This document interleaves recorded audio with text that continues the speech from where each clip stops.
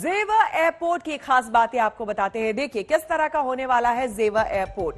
तो आपको सबसे पहले हम बता दें, यहाँ पर लागत है उनतीस हज़ार सौ पचास करोड़ की लागत से यह तैयार होने जा रहा है। ज्यूरिक इंटरनेशनल एयरपोर्ट के तर्ज पर यह बन रहा है। और साथ ही बासठ सौ हेक्टेयर में निर्माण कार्य यहाँ पर किया जा रहा है। इसके अलावा 2024 में पहली उड़ान यहाँ से भरी जा सकेगी। जी हाँ जो पहला फ़ेज़ है, वो 2024 में पूरा होगा। एयरपोर्ट में पाँच रनवे होंगे और दो टर्मिनल यहाँ पर होगा। इसके अलावा 178 विमान एक साथ खड़े हो पाएँगे। ये गौर करने वाली बात है कि एक साथ 178 विमान यहाँ से खड़े हो पाएँगे। यानी कि हैंगर कितना बड़ा होगा, आप ये अंदाज़ा लगा सकते हैं। पश्चिमी उत्तर प्रदेश पर सीधा असर करने वाला है ये।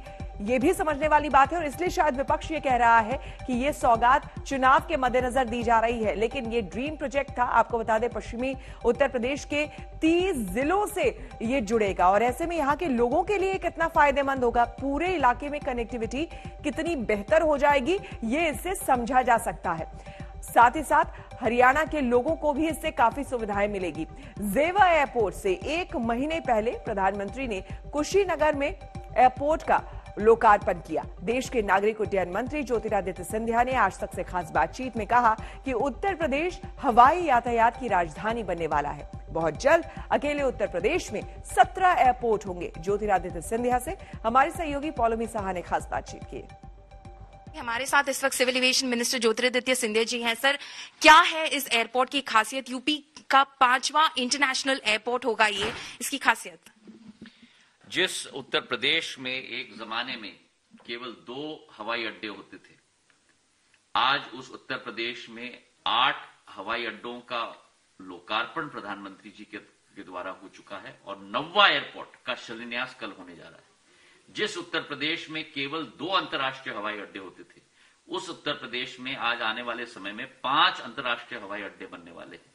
लखनऊ और वाराणसी के अतिरिक्त कुशीनगर का लोकार्पण हो गया अंतर्राष्ट्रीय हवाई अड्डे के रूप में। अगले चरण में जेवर का शिलान्यास कल हो रहा है और उसके बाद अयोध्या अंतर्राष्ट्रीय हवाई अड्डा। और हमारी सोच विचारधारा है कि आने वाले सालों में जहाँ हम दो से नौ तक पहुँच चुके हैं और दसवां का शिलान्यास होने वाला है, हम लोग सत्रह का टारगेट हमने अपने आप के लिए रखा है। सत्रह हवाई अड्डे उत्तर प्रदेश में अकेले तो उत्तर प्रदेश देश की राजधानी बनने वाली है हवाई अड्डों की श्रृंखला में।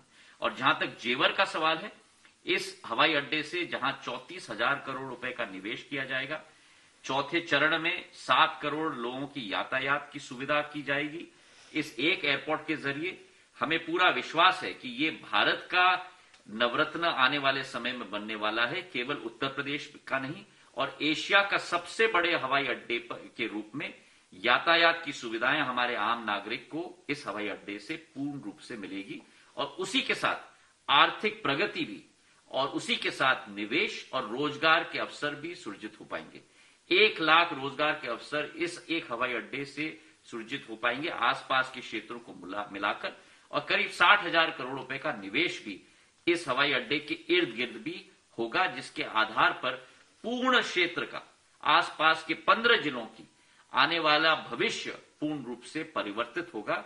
एक विकसित प्रदेश और विकसित देश की भागीदारी में इस क्षेत्र की जनता रही।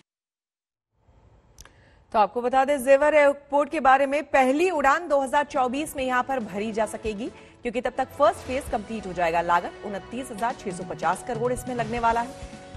जो फैलाव है 6,200 हेक्टेयर का यहाँ पर फैलाव होने वाला है। इसके अलावा पाँच रनवे होंगे और दो टर्मिनल होंगे।